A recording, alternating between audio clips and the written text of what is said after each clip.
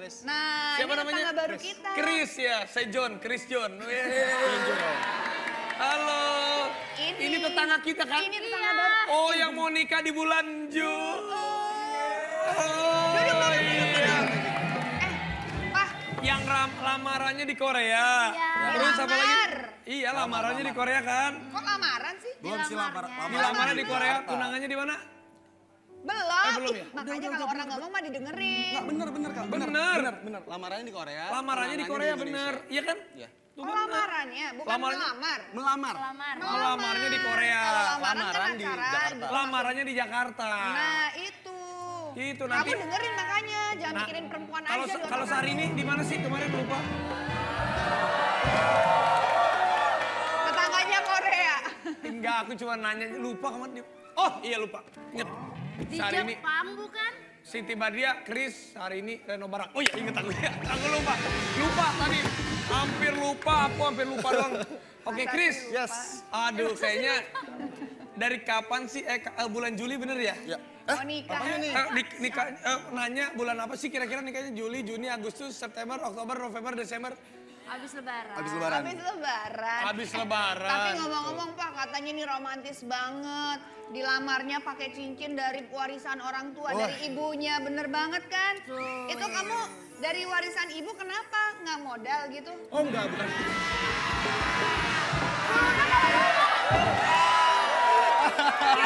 Ngomong apa dia? Gak modal katanya. Siapa bilang nggak modal? Itu ngirit, bukan nggak modal, Oh, nggak iya. paham. Sama aja. Sama aja.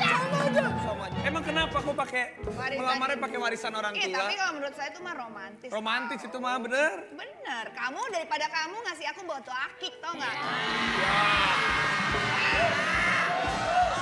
Waktu kamu ngelamar aku tuh inget nggak? Kita lagi on the way. Oh, sempet. Kamu ada di mana? Sempat aku Di ngelamar LA. dia, sempat, sempat. Di Aku Lenteng. Agung. Iya, aku ingat. Iya, Iya iya kan? aja. Kita- Iya, iya aja lagi halu dia.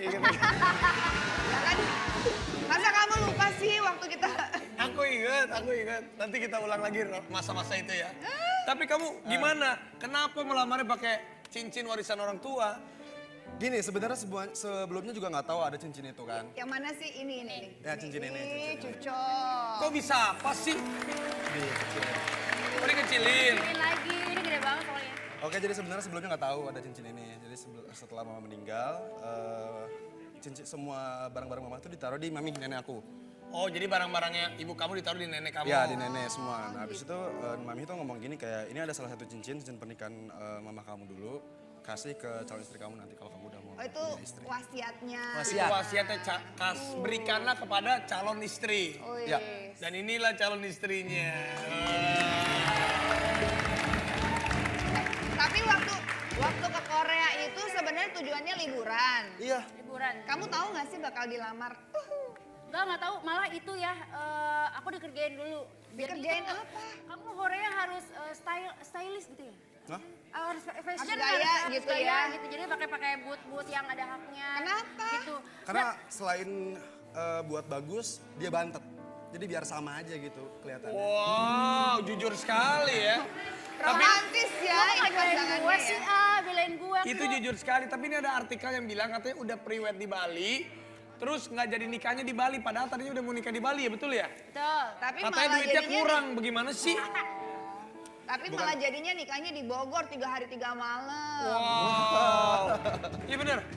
Insya Allah. Enggak, enggak, maksudnya bukan karena uang kurang, karena kita banyak pemikiran yang lebih Ada baik. uang kurang. Lu jangan, jangan dimasukin ke hati. kali. Lu jangan dimasukin ke Maksudnya, hati. maksudnya mau ngejelasin aja gitu. Iya, iya. Tuh lihat, sudah pre-wedding. Siti Badria gagal nikah di Bali. Wow. Ngaco nih. Ngaco ya? Ngaco Jadi ya? klarifikasi, ngaco, Ngaco. ngaco. Jadi Ngaco. sebenarnya apa? Apa? Eh, dari awal juga kita udah mikir kita nggak bakal nikah di Bali. Pertamanya Kenapa? emang pengen nikah di Bali, cuman banyak pemikiran yang kita masih belum kayaknya Benar. eh, banyak eh, banyak apa namanya? Banyak biaya, banyak akomodasi, biaya, transportasi. akomodasi segala Iya, macam karena belum keluarga lagi kita juga banyak kan. teman-teman ada yang pengen dibayarin gitu Benar, ya. benar, benar, benar, Nggak benar. tahu diri Teman-teman gitu yang ya. ah bener banget teman-teman nggak tahu diri, benar. Dan ini ada berita lagi luar biasa untuk pernikahan mereka. Mereka buat lagu. Sama kayak Sarini Reno kemarin bikin lagu loh.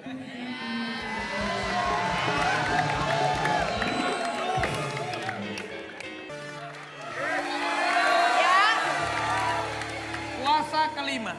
Terima jasa, bangunin sahur buat para jomblo. Jomblo.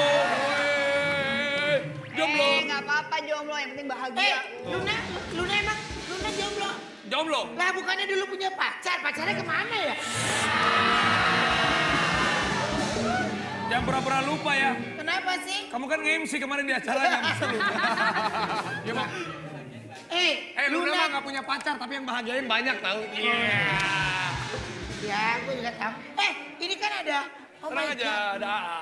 Eh, ini Ah. ada pasangan yang mau nikah itu ya? Iya, ini yang namanya Sibat sama Chris. Pas kebetulan aku tuh di belakang lagi kepo banget ya. Iya. Ini pas lagi, ini Instagramnya kan? Iya, heeh.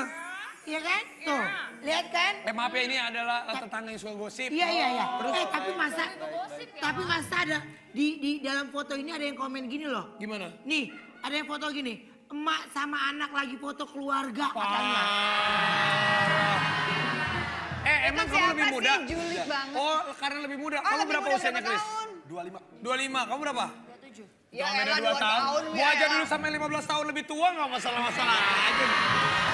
Ah, ini mah netizen enggak lah kalau dua tahun mah. Ah, sutra. Ada masalah. Oke, Sip. lanjut lanjut. Tahu Ada kan, siapa lagi? namanya netizen kan ngomongnya kan suka rusuh. Iya namanya juga. Siapa Iya lagi? Siapa lagi? Ada lagi, aku ada lagi. Nih, Wah parah bet. Bang Krisna, Bang Chris. Hatta. Chris Hatta beda. Chris Hatta lagi. Chris Diana. Oh, so- sorry sorry beda ya. Chris Beda, beda. Jana, pacarnya Teh Sibat, ya. Sibat mah nggak cantik-cantik amat kok mau sama Teh. Ya Allah. Parah Eh, Sibat. ini netizen ya. Netizen kalau ngomong suka Parah. bener tuh jangan kayak Eh, gitu. Bilang Sibat banget tuh cantik, mantannya aja banyak buat eh nggak sorry brother. Lu gak suka? Oh, sorry. Sekarang itu nggak semuanya harus tapi kan, tapi gini deh, Chris aku mau nanya, apa sih yang membuat kamu jatuh cinta sama Sibat? Hmm, kalau ditanya gitu kayaknya semua orang juga gak bakal tahu ya kalau misalnya Karuben, kenapa buat Karuben jatuh cinta sama eh, istri Oh Karuben? kalau dia jatuh Pasti cinta nggak ada sama, jawabannya sama- dong. Oh, nggak ada. Apakah- Apakah cinta butuh eh, apa? Butuh penjelasan, Nggak, butuh gini. alasan nggak? Ngerti iya benar yang namanya Emosi dia kan kita nggak tahu ya. Cuma misalkan kayak misalkan contoh aku tuh suka Sibat Nah, soalnya ini dia tahu itu nih. Nih, Dia nih. kalau cinta paling Nih, tahu paling nih. tahu nih soal cinta nih. ini. Ini orang paling tahu nih soal cinta. Dia paling tahu kalau cinta. Ya. Eh, Kamu kamu memang luar biasa. gua kan ngerti ya. Gimana sih kalau menurut kamu cinta itu? Cinta itu Hah? Panjang nih urusannya nih. Ya, Apa? Mau apa? tahu apa? Mau tahu apa? Kalau misalkan, let's say, apa sih yang membuat kamu jatuh cinta? Mungkin Sibat itu punya sifat keibuan yang selalu mengingatkan saya terhadap ibu saya. Itu yang ciri-ciri yang saya pengen dari pasangan saya. Misalkan, Ibuan tua dong gue. Enggak. Tapi gua gua lihat tadi Chris tuh jawabannya udah mulai tegas. Siti Badria tuh kayaknya kamu masih ragu-ragu Iya. kenapa sih? kamu ragu sama Chris? Kamu ragu? Gue sih ah lu ih. Eh, iya tuh lihat. Udah, udah kamu jujur aja deh, jujur aja deh. Nah, Ya. mumpung, mumpung masih berapa bulan nih? Iya. Harusnya kalau udah tahu kayak begitu dia nggak boleh ragu, bener Iya lah, bener Kalau menjawab, kalau Iya. menjawab tuh harus pasti. Harus pasti jadi orang nggak itu, boleh. ah,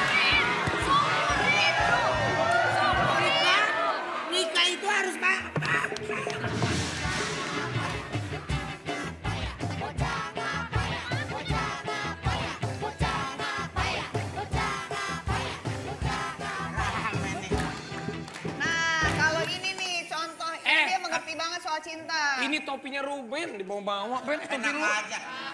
Saya dari jalan-jalan. Iya. Iya, terus? Tadi ketemu orang. Dia bilang, Mas nih, percaya gak ini topik kejujuran? Ah, masa sih? Oh, Siapa orang yang yang pakai pakai Nah, topi ini? coba, coba Pasti kita kalau tes ya. ditanya jawabnya. Oh gitu. Kita tes dulu Coba, ya. Nih, nih, hei, hei. Eh, No, sini. Gua mau nih jujur. Bohong pasti Gua kabur. mau, gua Eh, mau jujur. Eh, Gua eh, jujur. tes. Gua mau jujur. Kamu, Pak, kamu sering sama tetangga-tetangga perempuan mah kamu Gak suka. sengaja itu gak sengaja. Nggak sengaja ngobrol, apanya? Ngobrol. Ngobrol, pegang-pegang. Ya biasa. Udah, udah. Coba, Coba coba. ya. Jawab ayo. Coba pakai topi. Ah masa sih? Raffi Ahmad, eh Sa- Soleh, Sarah, Ya. Papa. Iya. Nggak, nggak enak kosan gue. Eh, pakai. Ruben tanya, Maju. Gue penasaran topi bener apa Raffi enggak. Ahmad. eh, bintang tamunya si Bat sama itu. Ya, kamu Kita tes dulu. Dulu ah. Ini rusak kali nih topinya nih. Raffi Ahmad. Pernahkah kamu dekat dengan Lu aja nanya. Raffi. Raffi Ahmad. Gak enak perasaan gue Oh, nih. udah, udah, Dio. Aduh, pala Raffi. Ahmad. Apakah kamu pernah mengingat-ingat mantan sampai sekarang ini? Tidak. Bohong. Buat saya, emang kalau prinsip gue mah gue nggak pernah ke mantan nggak pernah. Ini prinsip gue ibarat mobil, lu tahu dong kaca depan gede, kaca spion kecil.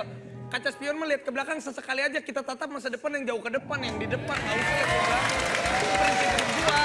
Jadi kalau gue nggak bakal balik kan. Oke, nggak bakal Oke, Jawab Raffi Ahmad. berikutnya. Oi, Pernah jangan nggak usah kode-kode, ngomong aja apa. pernahkah kamu ingin kembali dengan mantan kamu? Tidak, saya mah kalau sama mantan nggak pernah ada balikan. Kalau aku mah. Gitu Bener ya? nggak ada. Oh itu betul. Bener, Dia dia jujur, memang itu bener, bener. Dia itu jujur. prinsip kalau gue mah Oke, enggak. oke, oke. Baiklah. Oke, coba. Ah, Ah, apakah kamu Gue tahu punya dia kok dia. Apa benar kamu pernah nyolong ayam? Diri, diri, diri, diri. Lu nggak jauh dari ayam ya. Enggak. Gua ada nggak? Oke oke. Gua nggak ide pertanyaannya. Ya. Ajis gagap. Oi, Apa benar kamu punya istri banyak? Jujur.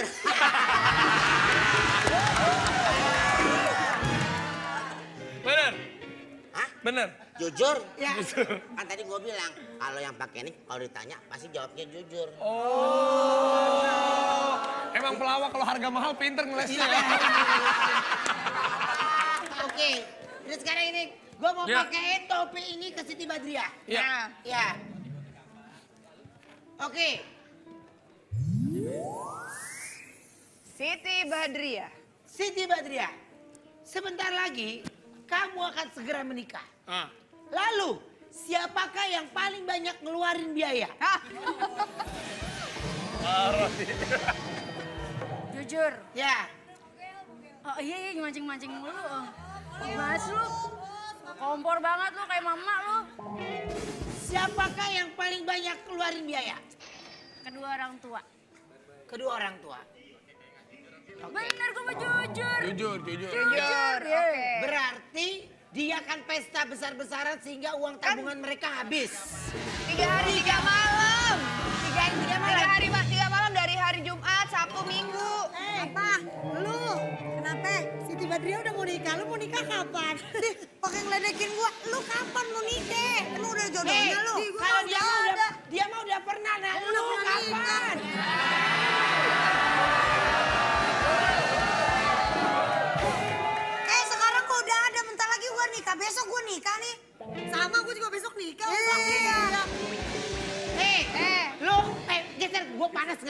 perempuan. Aduh, comel banget Lu, kalau dia mau udah pernah, dan lu baru tunangan berapa jam laki lu ketangkep. Ya untung ketangkep. Kalau kagak gua jadi janda, baru kawin gua jadi janda. Mendingan gua belum ja- belum kawin. Sabar, sabar. Malu tuh sama nonton di rumah, Gue malu. gitu. Sabar, sabar. Dia. Penonton! Penonton! Gua mau tanya sama lu semua nih.